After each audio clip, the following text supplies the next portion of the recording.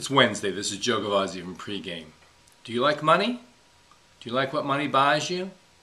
Do you deserve to win? Of course you do. Did you access my 4 0 on this site yesterday? A couple of NBA winners, a couple of college winners. Easy as pie. Think about how you're going to spend the money you win with my selections today. But don't think too long. Those selections are available for you right now. While you're thinking, think about this complimentary winner I have for you on ESPN tonight at 9 o'clock Eastern. I'm going to give you the Bucknell Bison plus the points over Arizona. This is an Arizona team that had a lot to replace from their winning team of last year, and you know what? They really didn't do it. There was no leadership, there was no step up scorer on the team. They really kind of fell flat on their face, lost in the final of the Pac 12 tourney, and didn't make the NCAA. Pretty much a downer for Sean Miller and his boys.